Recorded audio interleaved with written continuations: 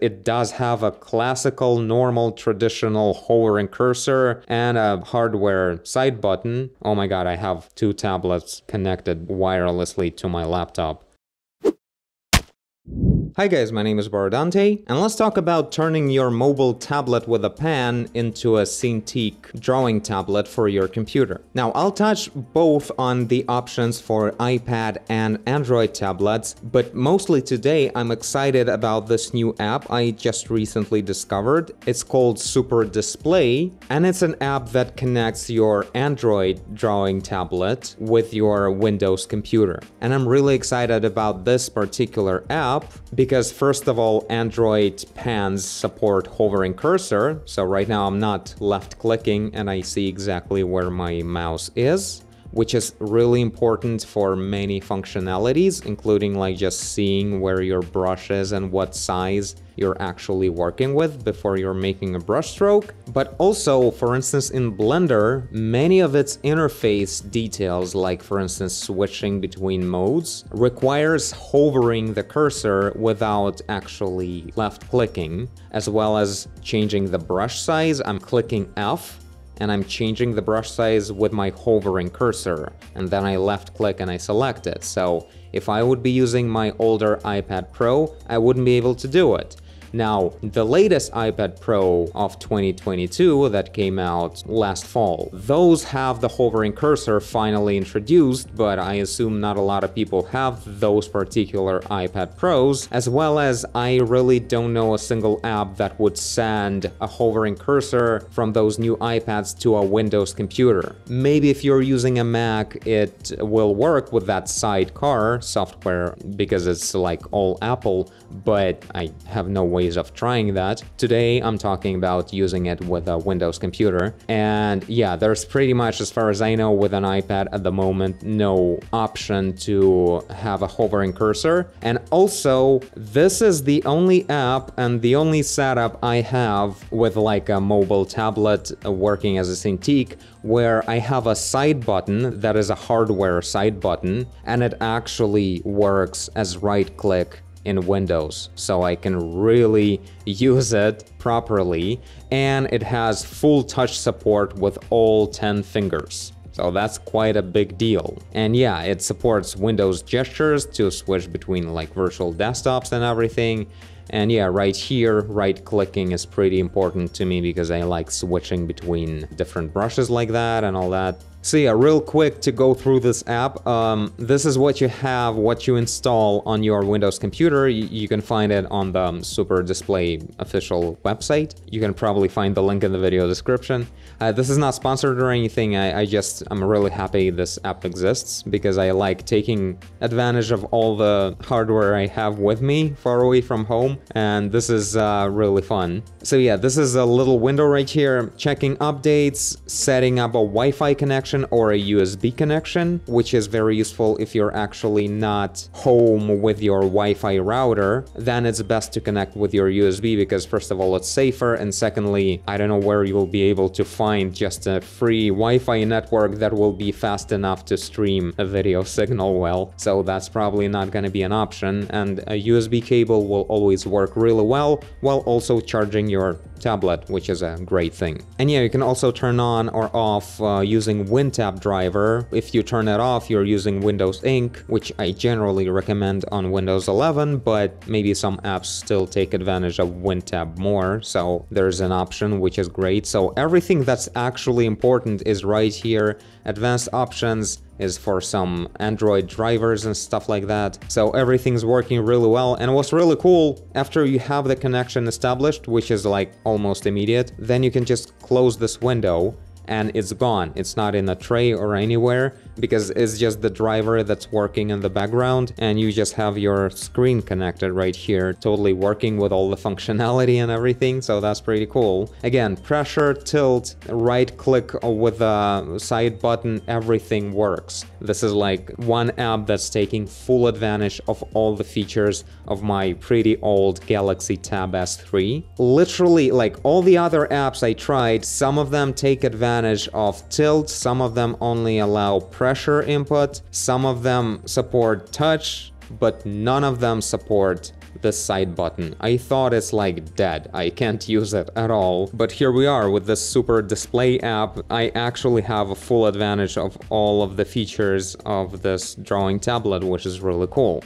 Now to go through the like mobile side of the app, so this is the app you actually buy on the Play Store. I believe it's like an in-app purchase. It's around 10 euros, $10, something like that. So not exactly cheap, but at least it's a one-time purchase. And yeah, there's this only piece of interface right here, this little floating button. And yeah, it actually has several features. So first of all, right now it shows that I can do the touch input I can switch to lock, then I don't do anything with my fingers, which is pretty useful in many ways. Like if you're working in a 3D app, you probably don't want to accidentally press something with your fingers. And another mode is this crop mode. So you can crop in to any part of your screen and, you know, take advantage of much higher precision like if I would switch to Photoshop right here, I can be very precise with this level of zoom. And what's also really cool, this little button, I can press and hold on it and it shows four more buttons. So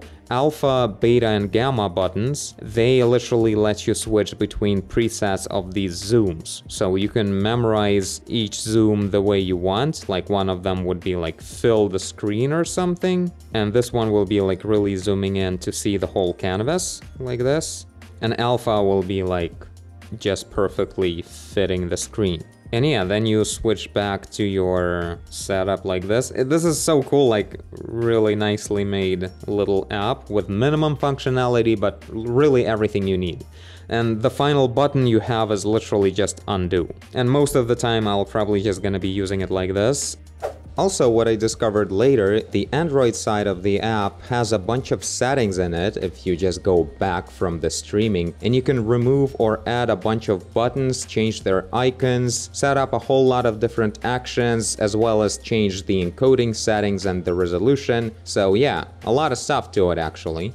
Everything is working very nice and snappy. Uh, right now you can see no cables are connected, but you can use a USB cable, which will probably be a little bit quicker latency or something. Really cool app, highly recommended, especially if you have a hard time making your side button work on your S Pen or something. Now, a couple more apps I'll mention right here to go through other options. So we'll start with these two apps for Android. What's special about these two apps is that they both enable your Android tablet to work as a screenless tablet, just a drawing tablet for your computer. And they have very different ways of working, like virtual tablet right here. You install an app on your PC and you install an app on your Android tablet from the Play Store. All of the apps I'm mentioning here, they are paid apps, but it's always a one-time payment. And so yeah, this app right here, it pretty much works like this. So I just have a gray tablet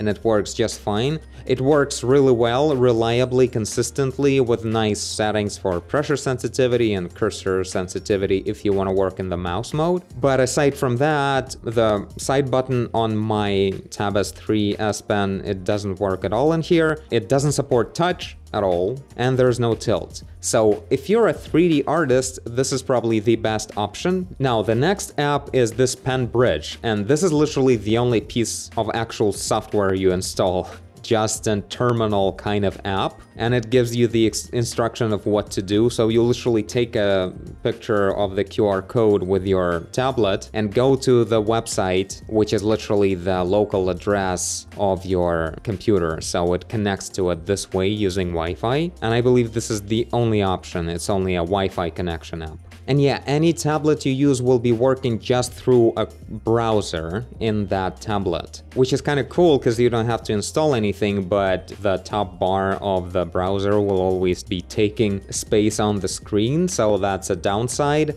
But PenBridge supports pressure, tilt, and all the like 10 fingers touch. So that's pretty cool about it. But there is one issue with uh, the way it works with bigger displays. In my case, I have a QHD resolution on my laptop and I'm only being able to move the cursor with PenBridge only within the 1920 by 1080 rectangle. So it's just meant to be used with a full HD display and that's it. So if you have a full HD display, it will work really well. I already emailed the developer about this problem. Hopefully they'll fix it soon. But yeah, the app is cool, but you literally have zero settings at all. You can't even like turn off touch if you don't need it. And yeah, no changes of uh, like pressure sensitivity, for instance, or a mouse mode, like stuff like that is not available on PenBridge. And finally, this app right here is called on Windows EL Display Hub, but on the tablet side, it's called EasyCanvas. And this is an app available both for the iOS and Android. And this is my favorite app that I use constantly with my iPad. So I just go ahead and uh, launch EasyCanvas on iPad right here, and this is it, I'm connected already. Of course, I never use my iPad in mirroring mode, so this is just a second display here, which is probably a very exciting thing for most people anyway, because you guys like actually drawing and looking at where you're drawing. I'm not a fan of that, I prefer screenless tablets. That's why I'm just drawing on my Android tablet at the bottom and looking at the main display of my laptop. した But yeah, right now I'm connected using a USB mode. Of course, it has also a Wi-Fi mode. But with USB, you get to, you know, have a very reliable connection wherever you are and um, charge your iPad at the same time or Android uh, but what's interesting, with this app with EasyCanvas, you don't get a hovering cursor, whether it's an old Apple Pencil, and I assume as well as like a new Apple Pencil with M2 iPad Pros, I assume it won't work anyway, because when I use EasyCanvas on my Android tablet, it also doesn't have a hovering cursor. So it's just not a feature they have added at all yet, and I don't know if they ever will, so that's a thing, if you have a new iPad Pro and a Windows computer, I really don't know if there is a way to connect it as a Cintiq tablet and have a hovering cursor working. So that's a bummer in that regard. And uh, what's interesting, like generally iPad in 3D, not very useful at all. Even though it has pressure, tilt, and touch, none of that is really useful if you don't have a hovering cursor and at least a right click button. And what's interesting, even if this would be a second generation Apple Pencil, it would only have like this double tap thing. And I don't know, always double tapping to do a right click, even if it's actually available in any software like in EasyCanvas, I'm not sure. No guarantee if it works the way you actually want it to work. But yeah, always double tapping is, a, I, I feel like it's quite a bummer. Uh, not to mention that you can't really press and hold that way. How do you press and hold a right mouse button? Button if it's a double tap. I feel like this won't really work. I don't know. But anyway, that's why today I'm so excited about actually using an Android tablet because it does have a classical, normal, traditional hovering cursor and a hardware side button that works just right. Oh my god, I have two tablets connected wirelessly to my laptop and it's like a three display setup apparently. Oh my god yeah, it should be like this, this, I guess. So I'm here and then I'm here and then I'm here. Yeah. So I can set this up to be a duplicate between display 1 and 2.